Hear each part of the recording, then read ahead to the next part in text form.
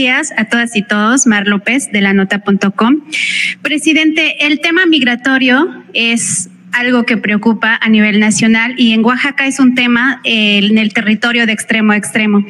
Eh, usted platicó con el presidente Biden en la cumbre del Foro de Cooperación Económica hacia Pacífico recientemente. ¿Cuáles son los avances en ese tema migratorio y en qué acuerdos concluirá esta relación bilateral sobre las políticas migratorias, presidente? Pues eh, hemos estado tratando el tema con el presidente Biden eh, y se ha avanzado, pero todavía eh, falta.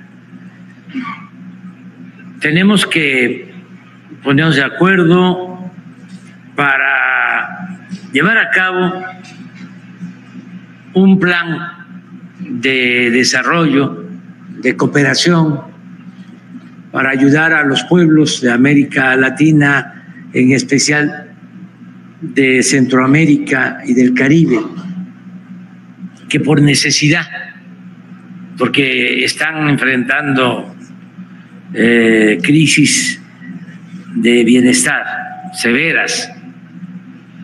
Entonces, no tienen más opción que eh, echarse a andar para buscarse la vida en Estados Unidos.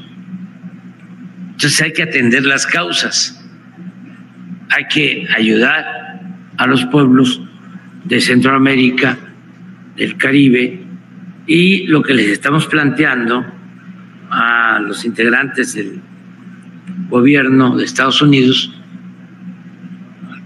presidente Biden, es de que se pueda aprobar un plan como lo fue en su momento el de la Alianza para el Progreso con el presidente Kennedy, que se destinaron recursos para el desarrollo social, para apoyar a los pueblos pobres es ir al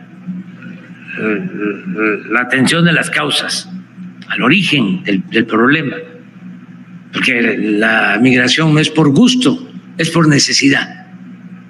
Entonces, eh, en eso estamos. Ahora que fui a San Francisco, que nos encontramos, que platicamos, tratamos el tema.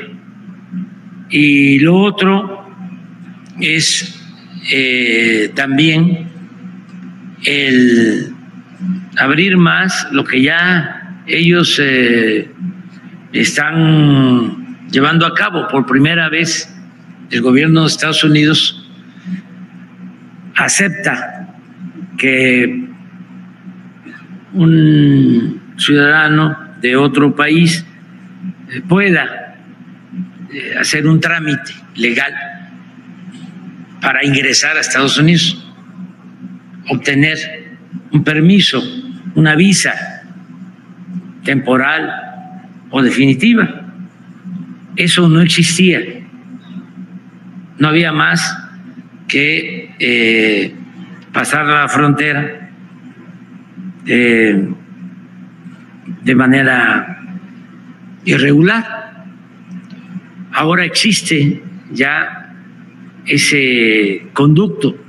Hay que hacer un trámite, se hace una solicitud, eh, piden ciertos requisitos, si se tienen familiares en Estados Unidos, eso lo están aplicando para venezolanos, para cubanos, para haitianos. Creo que para colombianos también lo que queremos es que se amplíe eh, y que eh, se amplíe a otros países y también que se den más eh, visas, que sea más la aceptación de migrantes.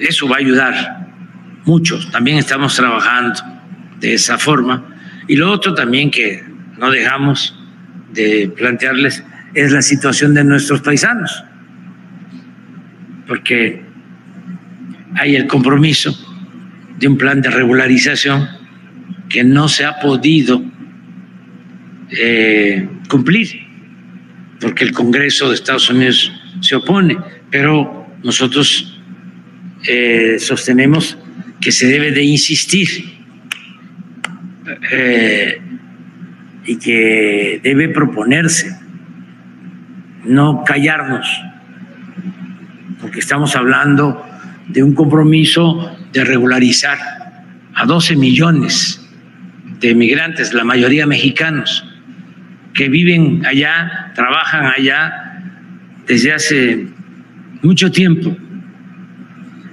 y que todavía no tienen sus eh, papeles como estadounidenses y que deben de tener la doble nacionalidad, mexicanos y estadounidenses. En eso estamos.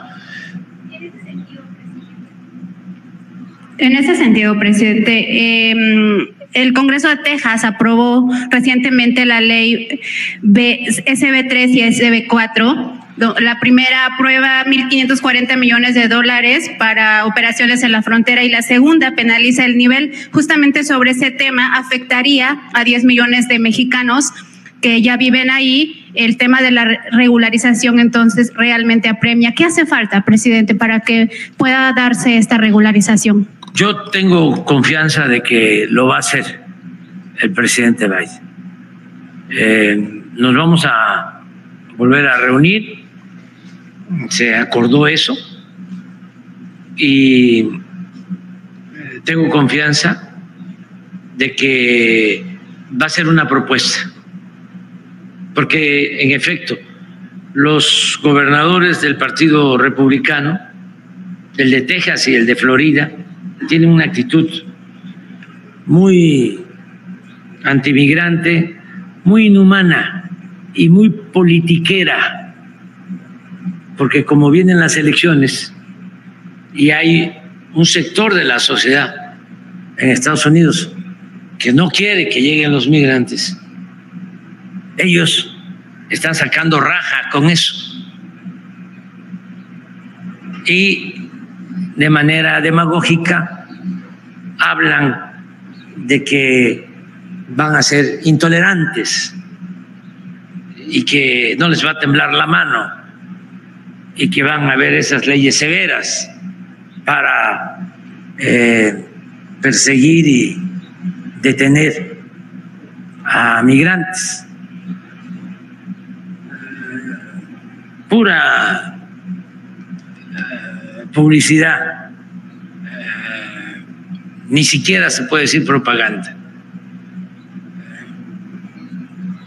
pura publicidad corriente y puras amenazas vulgares. Y les va a ir muy mal a ellos, porque los hispanos no van a votar por esas autoridades que están en contra de los migrantes. Porque todos, todos, todos tenemos algún origen migrante, todos, en el mundo. Este es un mundo de migrantes. Estados Unidos se constituyó en la gran nación que es gracias a los migrantes. Pero hay esta actitud muy hipócrita que se da eh, siempre, pero se agrava o se profundiza cuando hay elecciones.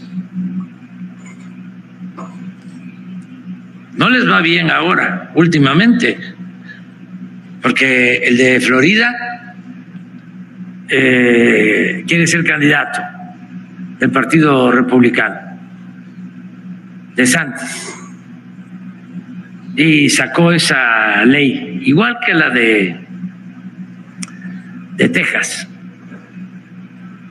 de Texas le copió a De Santis, pero no no supo eh, entender lo que sucedió, no leyó bien, este, no se dio cuenta del resultado, porque cuando De Santis saca esa eh, ley, estaba más o menos eh, posicionado para ser candidato. A partir de que saque esa ley,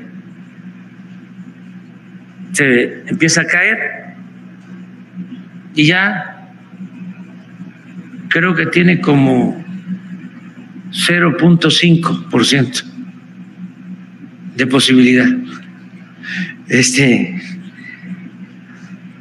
eh, se cayó.